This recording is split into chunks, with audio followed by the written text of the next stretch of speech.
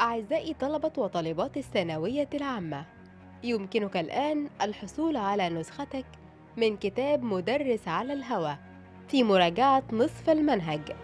الكتاب الأول كتاب المواد الأدبية ويحتوي هذا الكتاب على مراجعة نصف المنهج في تسع مواد دراسية في كتاب واحد وهي التاريخ الجغرافيا علم النفس والاجتماع الفلسفة والمنطق اللغة العربية اللغة الإنجليزية اللغة الفرنسية اللغة الألمانية واللغة الإيطالية. الكتاب الثاني كتاب المواد العلمية. ويحتوي هذا الكتاب على مراجعة نصف المنهج في عشر مواد دراسية في كتاب واحد وهي الفيزياء الكيمياء الأحياء الجيولوجيا الرياضيات اللغة العربية اللغة الإنجليزية اللغة الفرنسية اللغة الألمانية واللغة الإيطالية. وقد قام بإعداد هذه الكتب نخبة متميزة من مقدمي البرامج التعليمية في برنامج مدرس على الهوى طبقا للنظام الحديث تحت إشراف مستر أحمد السعيد. يمكنك حجز الكتاب من خلال مؤلف الكتاب مقدمي البرامج التعليمية في برنامج مدرس على الهوى أو التواصل مع إدارة البرنامج من خلال الرقم التالي 0100 63 56 296 تمنياتنا القلبية بالتوفيق والنجاح لكل طلابنا الأعزاء.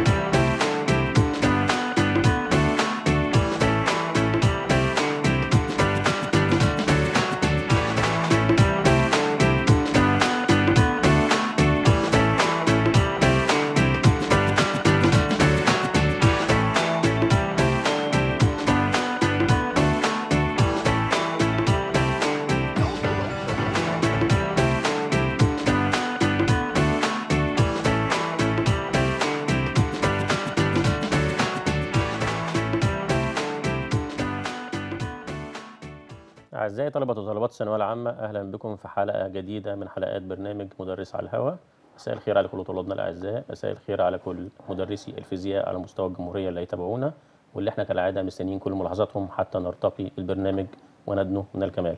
النهارده يكون في ضيافتنا لمادة الفيزياء للثانوية العامة الأستاذ محمد رياض. مساء الخير يا مستر. مساء الخير يا مستر أحمد. أخبار حضرتك. إيه؟ الحمد والشكر لله. منور الدنيا كلها. الله يبارك في حضرتك. آه، طبعا مستر محمد رياض عامل لنا النهارده ريفيجن أو مراجعة على الفصل الأول والثاني للفيزياء بالنسبة للثانوية العامة. فيا ريت كل طلابنا الأعزاء يركزوا في الأسئلة لأن هو مجمع مجموعة من الأسئلة اللي هي قائمة على إعمال الفكر آه، والتركيز بالنسبة تماشيا طبعا مع الأسئلة الجديدة اللي هي بتتماشى مع النظام الجديد للثانوية العامة. فيا ريت كل طلابنا الأعزاء يركزوا مع مستر محمد في الأسئلة اللي هو مجمع عنها. طبعا. آه، في البداية بحب آه، أبلغ طلابنا الأعزاء على مستوى الجمهورية كلها إن الحمد لله ظهر دلوقتي بقى لنا فترة في منافذ البيع المعلنة.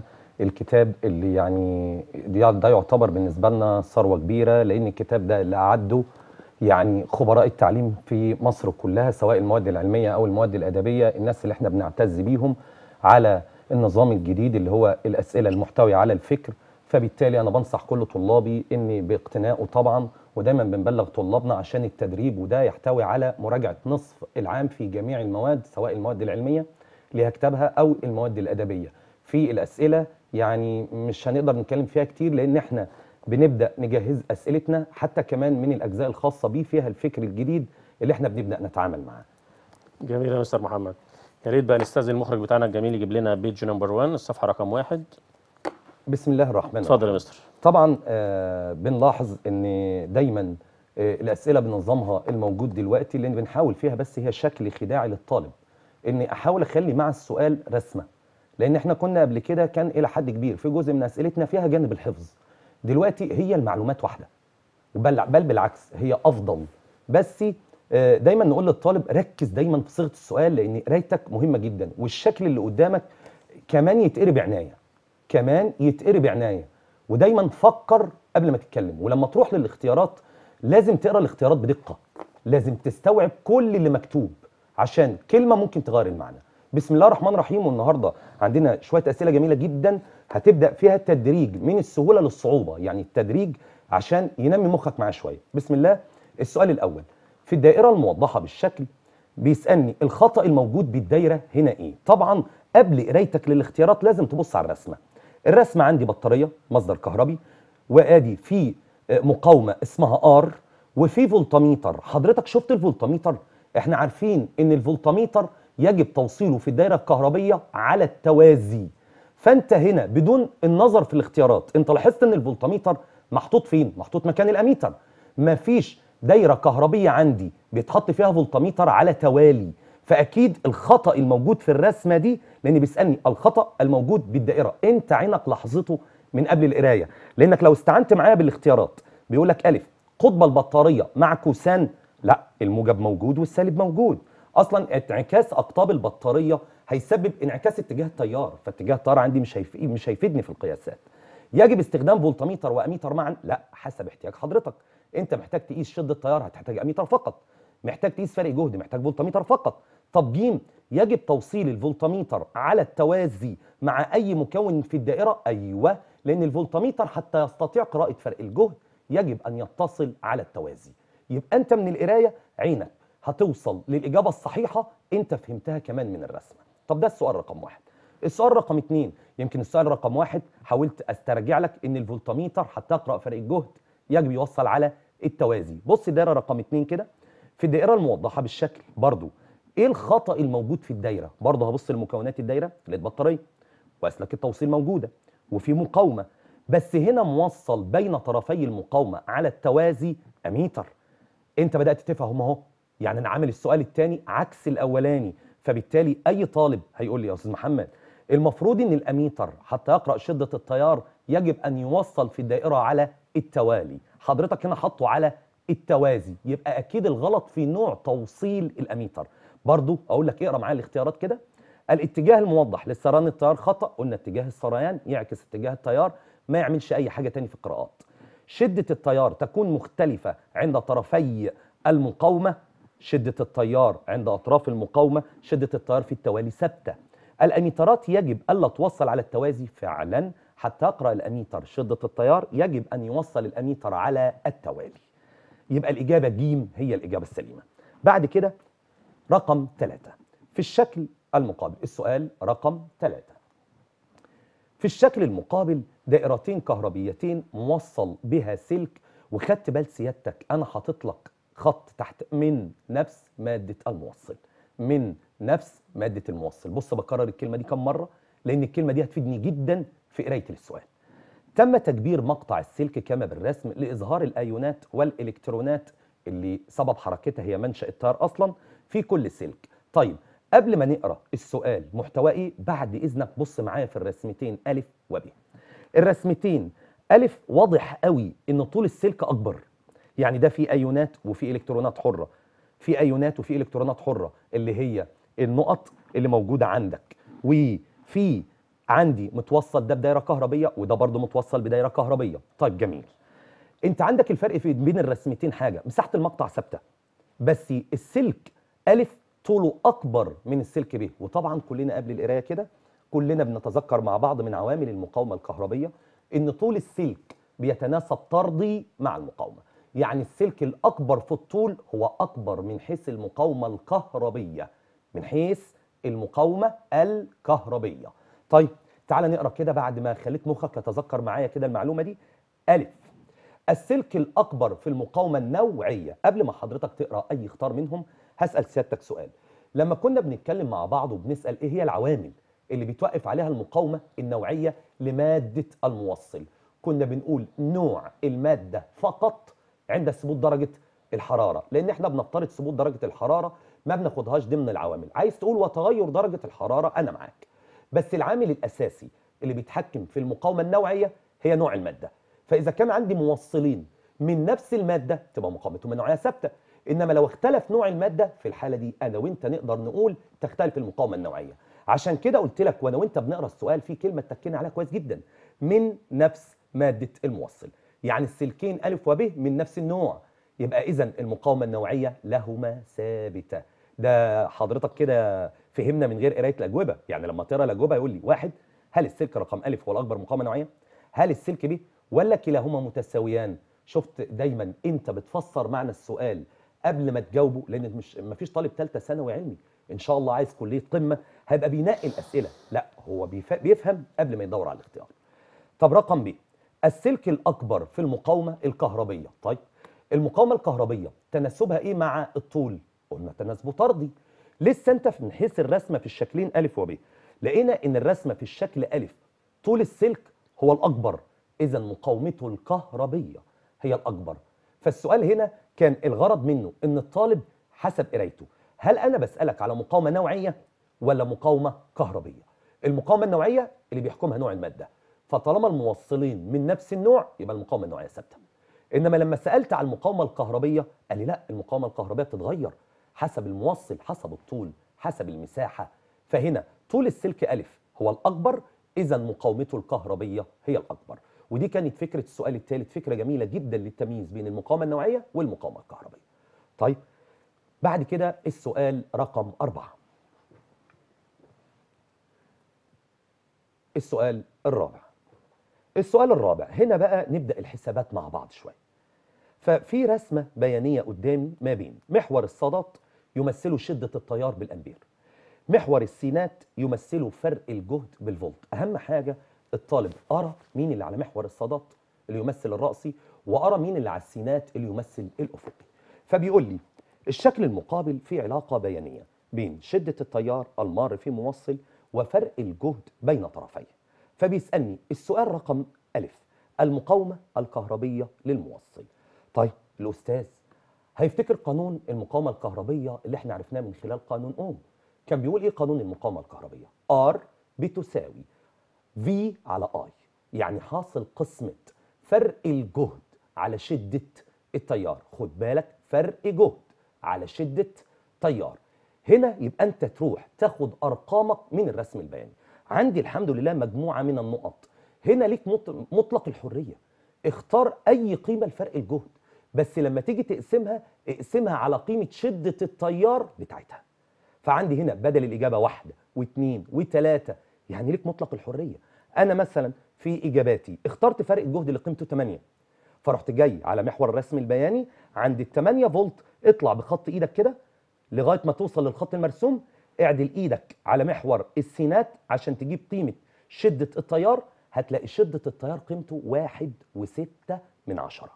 فقلت يبقى فرق الجهد بتاعي 8 على شدة التيار بتاع فرق الجهد ده واحد وستة من عشرة يبقى حاصل قسمة 8 على واحد وستة تساوي 5 أوم. طب ممكن طالب غيري يقول لي يا أستاذ محمد طب أنا لو خدت فرق الجهد اللي قيمته 6 ممكن ناخد فرق الجهد اللي قيمته 6 اطلع على محور السينات. شوف التيار بتاعه بكام. هتلاقي التيار بتاعه واحد واتنين من عشرة. هتقسم برضو ستة. على واحد واتنين من عشرة برضو الإجابة هتديك المقاومة الكهربية بخمسة. يعني أنت عندك هنا مطلق الحرية هتديك نفس الإجابة. طب ده بالنسبة للمقاومة الكهربية. طب رقم ب اللي جبناها آه، في السؤال اللي قبلها بس كان نظري قلت طب نعملها كمسألة. قلت لك طب احسب لي المقاومة النوعية لمادة الموصل. إذا كان الطول بتاعه 2 متر ومساحة مقطعه 20 سنتيمتر مربع. طبعا الطالب المتفوق 20 سنتيمتر مربع. أنا ما بشتغلش بالسنتيمتر مربع. هتتحول لمتر مربع هتتضرب في 10 أس سالب 4 دايما التحويلات نتيجة القراءة المتسرعة دايما أقول لطلابي. اقرأ بهدوء عشان التحويلات ما تبقاش هي سبب خطأك وانت عارف كل كبيرة وصغيرة. طيب قانون المقاومة النوعية rho e بتساوي. R المقاومة الكهربية اللي إحنا جبناها. في A اللي هي مساحة المقطع على L تاني ال rho e بتساوي R في A على L لسه في النقطة ألف. جبنا قيمة المقاومة الكهربية بخمسة.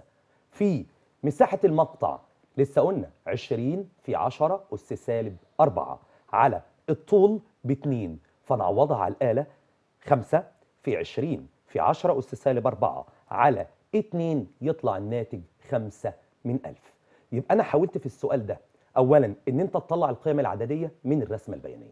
ثانيا نعوض في قانون المقاومة الكهربية قانون أوم ويبقى تذكرناه برضو ثانيا عوضنا كمان واستخدمنا قيمة المقاومة الكهربية في إيجاد المقاومة النوعية من خلال القانون بتاع المقاومة النوعية. فالسؤال جميل السؤال رقم أربعة. بعد كده ننقل على السؤال رقم خمسة.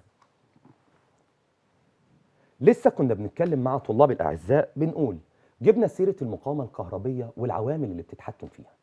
عارفين إن من عوامل المقاومة الكهربية طول السلك تناسبه طردي يعني لو طول السلك زاد المقاومة الكهربية هي كمان بتزيد. مساحة المقطع تناسبها عكسي. يعني لو مساحة المقطع زادت المقاومة الكهربية بتقل. فبالتالي دايما الأسئلة اللي بتبقى على شكل تناسبات التناسب الطردي أو العكسي مع الطول أو المساحة من الأسئلة المهمة جدا اللي بتتكرر دايما فكرتها. فرقم خمسة بيقول لي سلك مقاومته R يعني في البداية مقاومته R أعيد تشكيله. دايما كلمة أعيد تشكيله دي أنبه طلابي دايما أقول له لما تقراها خد تحتها خط. لأن الكلمة دي دايما بيبقى أقول لي دايما الطالب بتاعي بيبقى في معطى مستخبي في المعطيات. يعني في معطى هيبقى مش صريح. في معطى متغير جديد بناء على قرايتك. طبعا دي فهمك هو اللي هيوصلك ليها. أعيد تشكيله بحيث زاد طوله للضعف. زاد الطول للضعف. بيسألني مقاومته بعد التشكيل. عايز المقاومة بعد التغير الحادث. طب الأستاذ الفاضل طالب المحترم بتاعنا أنا لو معايا سلك من أي مادة؟ لو مسكته زي ما بيقول لي في السؤال إن أنت شديته قعدت تشكيله مسكته شديته بإيدك بحيث إن أنت تخلي الطول يزيد. هو أنا لما أمسك أي مادة أي حاجة وأشدها بإيدي فعلا الطول بيزيد. بس في نفس الوقت المساحة بتقل. ما بتظلش المساحة ثابته فهنا السؤال فيه متغيرين مش متغير واحد. أنا ممكن من قراية المتسرعة أقول الطول زاد يا مستر. يبقى المقاومة الكهربية المفروض تزيد للضعف. طب أنت ما خدتش بالك ليه؟ لسه بقول لك أنا لو معايا حاجة. مسكتها فردتها شدتها بإيدي. الطول زاد. المساحة مش هتظل ثابتة. ده إحنا كلنا بنستنى حتى بحياتنا العامية. تقول لا ده هتبقى رفيعة. رفيعة يعني أنت حكمت إن المساحة قلت. فأنت عندك هنا تغيرين حصلوا للسلك. اولا الطول زاد للضعف والمساحة قلت للنص فزيادة الطول للضعف تزود المقاومة الكهربائية للضعف ونقص المساحة للنص تزود المقاومة ضعف تاني. اذا المقاومة الكهربائية زادت معاك كم مرة؟ أربعة. عشان كده اتنين من زيادة الطول واتنين من نقص المساحة. فيبقى المقاومة الكهربائية الجديدة مش اتنين R لا أربعة R. ودي دايما من الصيغ اللي بنقول صيغ مهمة. صيغ مهمة. لأن الطالب المتسرع هيقول لي يا مستر في السؤال قال لي زاد الطول بس. لا قلت لك كلمة أعيد تشكيله ليها معنى. أعيد تشكيله دايما لما تقرأ مرة تاني. السؤال كلمة أعيد تشكيله هيبقى فيه متغيرين عندك. أنا هديك واحد ومن فهمك هتفهم التاني. يبقى اذا كلمة أعيد تشكيله فكرة السؤال أنا ما يهمنيش دايما مع الطالب حل السؤال بعينه. أنا لما اخترت السؤال من هنا وسؤال من هنا وسؤال من هنا أنا بوصل لدماغك الأفكار اللي دايما بنغلط فيها. فتاني أعيد تشكيله معناها إن الطول زاد إذا المساحة قلت. ففي تغيرين للمقاومة. بزيادة الطول هتزيد المقاومة الكهربائيه بنقص المساحة للنص هتزيد المقاومة إذا المقاومة في النهاية زادت أربع أمثال يبقى الإجابة 4 آر. طيب ننقل بعد كده للسؤال رقم ستة. في السؤال ستة قلنا نتذكر مع طلاب الأعزاء القوانين بتاع حساب المقاومة الكلية. في التوصيل على التوالي والتوصيل على التوازي. فدمجنا الاثنين في سؤال واحد. فبقول للطالب في الشكل المقابل دايما أنا فيا طبع بحب أنقله لجميع طلابي.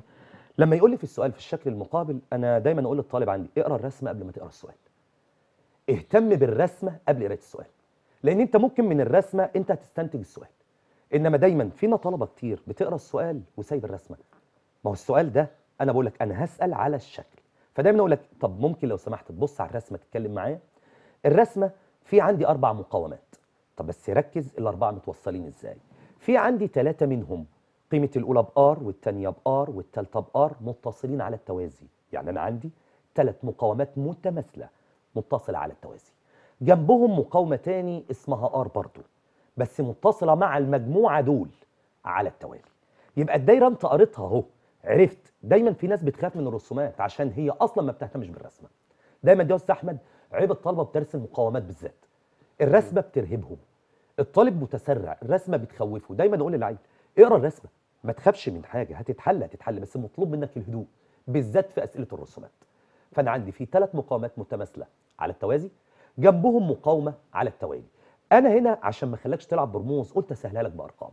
بقول لك إذا كانت قيمة كل مقاومة ب 3 أوم هات لي المقاومه المكافئة المقاومة الكلية بين النقطتين A و B تمام. يبقى أنا دلوقتي أعوض بقيمة R ب 3 يبقى أنا عندي ثلاث مقاومات متماثلة على التوازي قيمة الواحدة منهم بثلاثه هو R total لمجموعة مقاومات متساوية على التوالي. مش على التوازي مش واحدة منهم على عددهم. يعني أنت جبت دول لوحدهم بس. إنها تبقى 3 على 3 يبقى بكام؟ بواحد. دي المقاومة الكلية للثلاث فروع التوازي بس. طب لسه رسمتك ما خلصتش؟ مش انت قلت ان في مقاومة برضه بآر يعني ب 3 اوم على التوالي مع المجموعة ديت؟ أيوه والتوالي بيتجمع.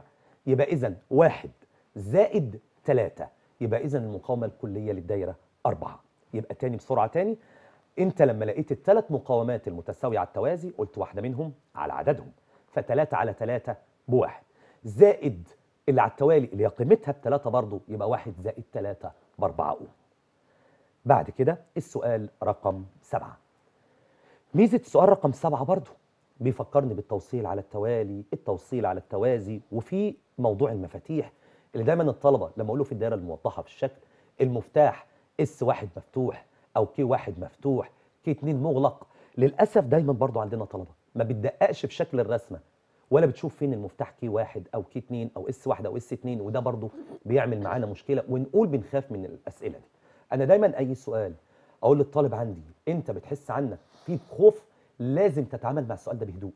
بهدوء وتدرب عليه كتير. فقلنا نعمل الفكرة الجميلة دي في السؤال سبعة في الدائرة الموضحة بالشكل إذا كان المفتاح S واحد مغلق زي ما الرسمة مرسومة قدام عين حضرتك S واحد اللي هو اللي فوق بينما المفتاح S 2 مفتوح كما بالشكل. مرة في الدائرة تيار شدته I. تيار ما. طيب ممكن لو سمحت قبل ما تقرأ قرايه تبص كده بعد إذنك. أنا عندي في الدايره مقاومتين.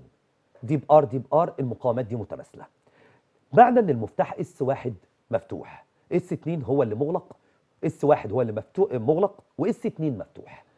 S 2 مفتوح يبقى مش هيمر التيار في المقاومة اللي جنبه. معنى كده إن الدايرة دلوقتي فيها مقاومة واحدة. فيها مقاومة واحدة. فمر تيار في الدايرة شدته I يبقى اذا لما الدايرة بتحتوي على مقاومة واحدة بس.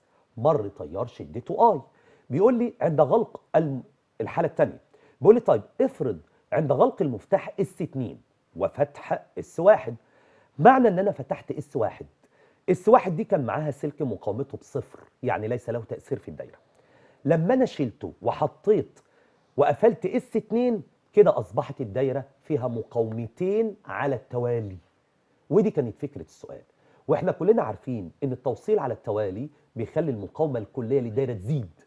ولما المقاومة الكلية تزيد شدة التيار كلنا بنقول إيه؟ بتقل. يبقى بزيادة المقاومة الكلية شدة التيار هتقل عن القراءه السابقة. ودي كان الهدف. إن أنا أفكرك التوصيل على التوالي بيعمل إيه في المقاومة الكلية؟ بيزود المقاومة الكلية للدايرة. فبالتالي شدة التيار الكلي المار في الدايرة هيقل. وده أنا حاولت أعمله بالمفاتيح. إن أنا الحالة الأولى لما كان S واحد بس هو اللي مغلق كانت الدايرة بتحتوي على مقاومة واحدة. S 2 لما اتقفل و S واحد اتفتح أصبحت الدايرة فيها مقاومتين توالي. والتوالي خلى المقاومة الكلية للدايرة كبيرة فشدة التيار قلت عن القراءه السابقة. أنتوا شرحكم بيخليك انت تقرأ الإجابة من غير ما تبص للاختيارات. يبقى فعلا شدة التيار في الحالة الثانية هتبقى أصغر من. ده السؤال رقم سبعة. في السؤال رقم 8 السؤال الثاني نحاول نخش بالتوصيل على التوالي والتوازي بس آه، نخليه فيها حسابات رياضية شوية. في الدائرة الموضحة بالشكل وما عليها من بيانات. إذا كانت قيمة التيار المار في الدايرة هي واحد من عشرة أمبير. يبقى ده التيار الكلي في الدائرة. ده I total فإن قيمة R عايز قيمة المقاومة R اللي موجودة. طب جميل. نبص للرسمة الأول كده مع الأساتذة المحترمين. أنا عندي بطارية قوتها الدافعة 24 وأنت في قرايتك اداني التيار الكلي. أنت دماغك فكرت كده معايا؟ أنا معايا ال VB يعني فرق الجهد الكلي. ومعايا ال I total معايا التيار الكلي. أنا سامع بتتكلم معايا صح؟ أيوه. هنجيب المقاومة الكلية حسابية للدايرة. R total هتساوي VB على I total دايما آه، الطالب الواعي من قرايته. دايما أستاذ أحمد آه، الحل المستمر بيخلي الطالب من البيانات بيبدأ هو يتوجه قبل التكملة. ده التدريب الكتير اللي الطالب خلاص ما بقاش عنده الخوف عارف معايا المعطى ده معايا المعطى ده لأن القوانين عندنا محدودة. فالطالب بيبدأ بالاستخدام المستمر يفهم. أنا معايا VB ب 24 معايا التيار الكلي 1 من 10 يبقى أنا هجيب المقاومة الكلية يبقى R total VB 24 على ال I total 1 من 10 تبقى 240 أنا كده حسبت المقاومة الكلية بطريقة حسابية. لقيته بيقول لي أنا عايز قيمة R. ماشي ما أنا راسم لك في الدايرة فيه ثلاث مقاومات على التوالي. الأولى ب R الثانية 2 R الثالثه 3 R. الثلاثه متوصلين على التوالي. طب انت عندك لما تبقى عندك مجموعة مقاومات على التوالي بتجيب R total إزاي؟ حاصل جمعهم. يعني أنت تقدر تجيب R total من الرسمة اللي موجودة عندك. إنها بتساوي R زائد 2 R زائد 3 R إذا ال R total من الرسمة هتبقى ب 6 R وأنت قلت إن ال R total حسابيا بكام؟ ب 240 طب أنا أقدر أساوي الاثنين ببعض. يبقى إذا ال 6 R بتساوي 240 بالقسمة على الستة في الطرفين يبقى قيمة ال R الواحدة هتبقى 240 على 6 هتساوي 40 أوم. طب المسائل جميلة وتدريبك معايا سهل جدا فيها. طيب بعد كده المسألة رقم 9 السؤال التاسع. في الدائرة الموضحة بالشكل وما عليها من بيانات إذا كانت شدة التيار المار في الدائرة هي نص أمبير برضو ده التيار الكلي. عايز قيمة فرق الجهد على المقاومة المجهولة اللي اسمها R هنا برضو فكرة جديدة جميلة. انت قريت ان القوة الدافعة شفتها على البطارية بكام؟ ب 20 فولت. يعني ده فرق الجهد الكلي. ده فرق الجهد الكلي. مش المقاومة 4 أوم والمقاومة المجهولة R دول مقاومتين متصلين على التوالي. ويتميز التوصيل على التوالي إن فرق الجهد بيتجزأ بنسبة طردية مع المقاومة. طيب أنا عايز قيمة عايز فرق جهد المقاومة R طب هي مجهولة بالنسبة لي. طب أنا أقدر أعملها بطريقة جميلة جدا. المقاومة المعلومة هي 4 طب أنا أقدر أجيب فرق الجهد بتاعها. إزاي؟ فرق الجهد بيساوي I في R. أنا معايا التيار والتيار هنا ثابت بنص. في قيمة مقاومتها بأربعة. يبقى نص في أربعة باتنين. إذا فرق الجهد اللي هتاخده المقاومة 4 أوم هو 2 فولت. وأنت باصص على البطارية. فرق الجهد الكلي للبطارية بكام؟ ب 20 وفرق الجهد على التوالي يتجزأ. إذا هيبقى فرق جهد المقاومة R هو اللي تبقى من ال 20 فولت. يعني أنت هتقول فرق الجهد اللي أنا محتاجه اللي هو فرق جهد المقاومة R هيساوي 20 ناقص 2 الاثنين اللي أنا حسبتهم اللي هو فرق جهد المقاومة R يبقى 18 فولت. سؤال جميل وفكرني بفرق الجهد وإزاي بيتجزأ في التوصيل على التوالي. طب ده كان السؤال رقم تسعة. السؤال رقم عشرة. سؤال أجمل. السؤال رقم عشرة. في الدائرة الموضحة بالشكل لديك خمس مقاومات متساوية كما بالرسم. فأي القراءات المحتملة للفولتميترين V1 و V2 الفولتميتر V1 دايما كنا بنقول للطلبة الفولتميتر بيقرأ فرق جهد الجزء في الدايرة المتوصل عليه. الفولتميتر V1 شايفينه كويس؟ متوصل على مقاومتين على التوالي دي ب R ودي ب R يبقى اذا بيقرأ فرق جهد مقاومتين قيمتهم 2 r طيب الفولتميتر V2 متوصل على مقاومتين على التوازي. دي قيمتها R ودي قيمتها R يبقى واحدة منهم على عددهم يبقى مقاومتهم نص R يبقى V1 بيقرأ فرق جهد مقاومة قيمتها 2 R V2 بيقرأ فرق جهد نص R ولسه قايلين إن فرق الجهد في التوصيل على التوالي بيتجزأ بنسبة طردية.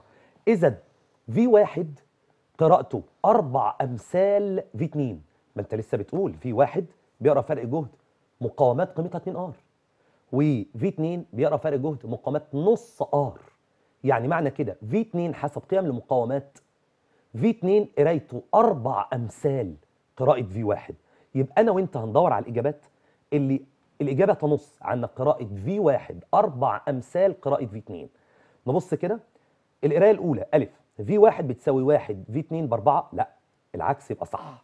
طب بص كده ب في واحد بأربعة في اتنين بواحد فعلا دي القراية اللي أكدت إن قراءة في واحد أربع أمثال قراءة في اتنين. يبقى الإجابة هي رقم ب. رقم 11 أي العبارات التالية تمثل الوصف الصحيح لفرق الجهد المفقود في البطارية؟ فرق الجهد المفقود. السؤال رقم 11 فرق الجهد المفقود اللي هو قول قانونه كده تذكروا معايا اللي هو في داخلي. هو فرق الجهد المفقود هو فرق الجهد الداخلي. مش ده بيساوي حاصل ضرب شدة التيار في المقاومة الداخلية للبطارية؟ يعني I في R small R small يعني المقاومة الداخلية للبطارية. يعني فرق الجهد الداخلي سببه سببه المقاومة الداخلية للبطارية. الكلمة دي لما تذكرتها دي هتسهل لك الاختيارات كويس جدا. ألف الجهد المفقود في البطارية هو الجهد الذي تطبقه على الدايرة الموصلة بها. طبعا لا لأنك كده يبقى أنت خدت المقاومات الخارجية في الدايرة. لا هو خاص بالمقاومة الداخلية بس. ب الجهد المفقود في البطارية هو الجهد اللازم للتغلب على مقاومتها الداخلية. أيوة فرق الجهد المفقود يتعامل مع المقاومة الداخلية للبطارية. فعلا هو الإجابة رقم ب هو الجهد اللازم للتغلب على المقاومة الداخلية. ده السؤال رقم 11 السؤال رقم 12 سؤال حسابي ودايرة كهربية مسألة جديدة. في السؤال رقم 12 إذا كانت مقاومة أسلاك التوصيل في الدائرة هي 2 من 10 يبقى دي R دي مقاومة. وكانت قراءة الأميتر يبقى ده شدة التيار في الدايرة أدي ال I فإن المقاومة الداخلية للبطارية. عايز R سمول طيب أنت الدايرة معاك VB ومعاك في مقاومة زيادة في الدايرة اللي هي 2.7 من عشرة. وهو لما قال لي مقاومة أسلاك توصيل هي مقاومة برضه؟ R ومديني شدة التيار. وعايز المقاومة الداخلية. دايما نقول لطلابنا R small بداية ظهور R small في المنهج ظهرت في قانون أوم للدائرة المغلقة. فدايما نقول للطلبة دايما لما بتقرأ السؤال وتلاقيني ذكرت المقاومة الداخلية للبطارية وطلبتها ما عندكش احتمالات كتير في الأسئلة وما عندكش احتمالات كتير إن أنت تدور على قوانين. اكتب قانون أوم للدائرة المغلقة. I total التيار الكلي بيساوي VB القوة الدافعة الكهربية على المقاومة الخارجية R capital زائد المقاومة الداخلية R small اللي مطلوبة من حضرتك. إذا عوض هتلاقي التعويض مباشر. ال I total ب 4 أمبير بتساوي ال VB مكتوبة قدام عينيك عند البطارية ب 12. ال R capital في R capital في الدايرة ب 2 و7 زائد اوعى تنسى اللي اداها لك في السؤال مقاومة أسلاك التوصيل هي مقاومة برضه ب 2 من 10 زائد R small المطلوبة منك. التيار ب 4 القوة الدافعة ب 12 ال R ب 2 و7 زائد 2 من 10 أسلاك التوصيل المجهول الوحيد هو R small بالتعويض المباشر.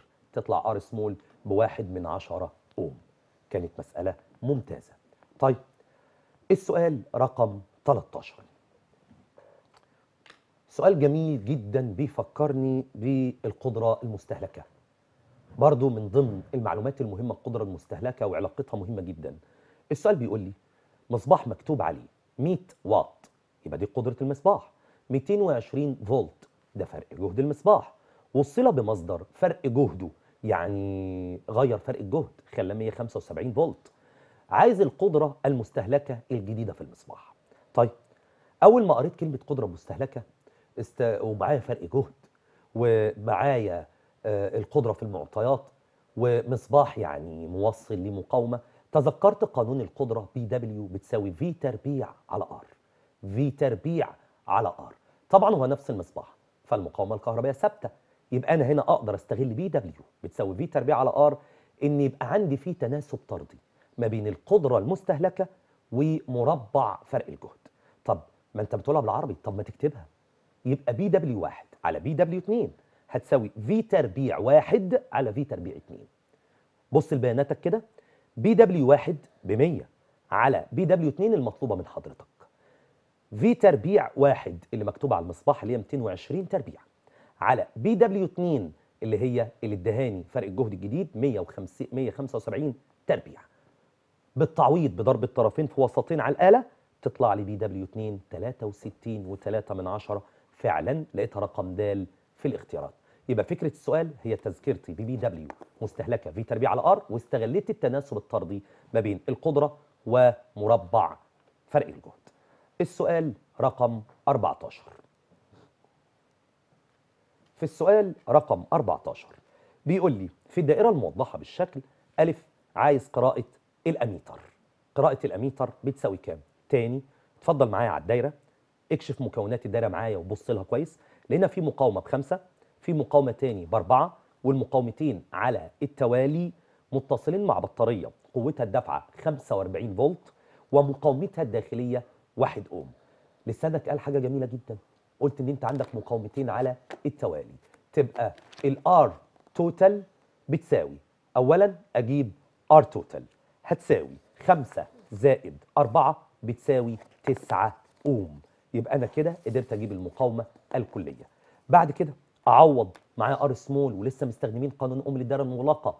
يبقى I total هتساوي VB على R total زائد R small ال VB على البطارية 45 R total جبناها بتسعة زائد R small في الرسمة بواحد تبقى 45 على على 10 يبقى التيار الكلي ب 4.5 أمبير. بعد كده بقراءة الفولتميتر بتساوي الفولتميتر دايما أقول للطالب بيقرأ فرق الجهد للمقاومة أو للجزء اللي في الدايرة المتوصل عليه. لو بصينا للرسمة كويس هنلاقي الفولتميتر متصل بين طرفي المقاومة 4 أوم فقط يعني بيقرأ فرق جهد المقاومة 4 أوم. فرق الجهد V بتساوي I في R ال I جبناها بأربعة ونص لأن هيمر فيها التيار الكلي لأن دايرتي كلها توالي. في ال R بأربعة أربعة ونص في أربعة بتساوي 18 فولت. كانت مسألة جميلة جدا جدا جدا. بعد كده السؤال رقم 15 مسألة بس مسألة للطالب المتفوق شوية. مسألة من المسائل المميزة بفكرة جميلة. في الدائرة الموضحة بالشكل إذا كانت قراءة الفولتميتر 6 فولت فإن ألف قيمة التيار الناتج من البطارية. برضو أقول للطالب المحترم بص معايا على الرسمة. لقيت عندي فولتميتر الفولتميتر ده متوصل على التوازي بين طرفي المقاومة R أيوه. وبرضه في نفس الوقت متصل بين طرفي البطارية والمقاومة اللي قيمتها 2 وطبعا فرق الجهد على التوازي ثابت. وهو مديني فرق الجهد بتاعي بستة. وعايز قيمة التيار. طيب أنت لسه بتقول لي إن الفولتميتر بيقرأ فرق جهد الجزء المتوصل عليه. وهنا هروح للجزء اللي فيه بيانات الأول. يعني الطالب اللي يقول لي ما هو متوصل على R. طب ما R مجهولة. أنا مش هقدر أجيب منها حاجة. أروح للجزء المعلوم من الرسمة اللي هي الفولتميتر ده بيقرأ فرق جهد البطارية والمقاومة الاثنين اوم اللي جنبها. طب ما أنت عندك القانون اللي بيقرأ فرق جهد الجزء المتوصل عليه بطارية ومقاومة يبقى V زي ما مكتوب عند حضرتك بتساوي VB ناقص I افتح قوس R capital زائد r small مديني فرق الجهد بستة. والقوة الدافعه مكتوبة ب 12 ناقص ال I أنا محتاجه ال R ار كابيتال ب 2 ار سمول بواحد يبقى بقت 3 I ال 12 تروح بعكس الإشارة يبقى 6 ناقص 12 سالب 6 أقسم على سالب 3 اذا يبقى ال I 6 على 3 ب 2 أمبير. فأنا استغليت الجزء المعلوم من الدايرة جبت شدة التيار ب 2 أمبير وده أول طلب. تاني طلب عايز قيمة المقاومة R قيمة المقاومة R طيب ما أنت قلت برضو إن الفولتميتر بيقرأ فرق جهد المقاومة R طيب أستغل قانون اوم تاني R بتساوي V على I لأن معايا فرق جهدها. زي ما هو مديهوني بستة تبقى 6 على الاتنين يبقى بتلاتة. وكده قدرت برضو أحل مسألة متميزة. رقم 16 السؤال رقم 16 في رقم 16 كيرشوف وسؤالين مهمين جدا. باستخدام كيرشوف فإن ألف شدة التيار آي واحد بكام؟ شدة التيار آي واحد. طبعا أنت الرسمة قدام عين حضرتك فيها تيارات. قانون كيرشوف الأول بيقول مجموع التيارات الداخلة بتساوي مجموع التيارات الخارجة. التيارات الداخلة عندي تلاتة ونص تجزأت إلى تيارين خارجين آي واحد زائد الاتنين ونص. أنت بتقول التيارات الداخلة بتساوي التيارات الخارجة. يبقى إذا لسانك قال المعادلة لوحده. تلاتة ونص هتساوي اتنين ونص زائد آي واحد. يبقى إذا قيمة آي واحد هتبقى التلاتة ونص. ناقص الاتنين ونص تبقى بواحد أمبير. بعد كده السؤال ب عايز شدة التيار اي 2 اي 2 طب ما هو اي 2 ده ده التيار اللي كان داخل أصلا. ما هو راجع تاني لمساره الطبيعي. ما هو هو. لو انت بصيت قيمة اي واحد هتجتمع مع قيمة الاتنين ونص ويبقوا هم قيمة اي اتنين. هو مكتوب قدامك في السؤال اللي هو تلاتة ونص. طب ده بالنسبة للتيارات عوضنا في التيارات الداخلة بتساوي التيارات الخارجه السؤال رقم 17 فروق الجهد قانون كيرشوف الثاني قانون كيرشوف الثاني كان بيقول مجموع الجهود الكهربية في المسار المغلق يساوي صفر. حبيت نتذكره ونطبقه في سؤالين برضو. الرسمه اللي قدامي بيقول لي في الدائرة الموضحة باستخدام كيرشوف احسب فرق الجهد V2 V2 اللي هو المجهول اللي قدامك. طيب أنا آخد مسار مغلق وأطبق فيه القاعدة بتاعتي مجموع الجهود في المسار المغلق بتساوي صفر. الجزء A B E F A ده المسار المغلق بتاعي. مجموع الجهود في المسار ده بتساوي صفر. أمشي في المسار من أول النقطة اللي حددتها لقيت البطاريات عندي فرق جهدها ب 15 أنا ماشي من السالب للموجب. باخد فرق الجهد بالموجب. خدوا بالكم من الإشارات دي. لما تمشي وتاخد عندك من سالب لموجب في مصدر خد فرق الجهد بتاعك قيمته موجبة يبقى موجب 15 بعد كده مشيت مقاومة ليها فرق جهد بس من الموجب للسالب. آخد فرق الجهد المكتوب عليها بقيمة سالبة تبقى سالب 6.5 بعد كده ماشي لفرق الجهد المجهول بتاعي في 2 بس من الموجب للسالب. يبقى آخد فرق الجهد بتاعي سالب في 2 بتساوي صفر. وبالتعويض الرياضي هتطلع لي في 2 بتساوي 8.5 رقم ب فرق الجهد في واحد آخد مسار جديد عشان نطبقها تاني. في واحد آخد المسار بتاعي A B C D E F A. أو آخد المسار B B C D E B. المسار ده والمسار ده أنا مش فارقة معايا دايما أقول للطالب خد المسار اللي عاجبك. في المسار B C D E B. مجموع الجهود بيساوي صفر. أول فرق جهد قابلته هو من الموجب للسالب. يبقى باخده بالسالب سالب في واحد المجهولة. بعد كده تاني فرق جهد قابلته من الموجب للسالب أخده بالسالب سالب 3 ونص. بعد كده تالت فرق جهد من السالب للموجب اللي هو موجب 6 ونص. بيساوي صفر يبقى بالتعويض في واحد بتساوي 3 فولت. ده تطبيق قانون كيرشوف. السؤال رقم 18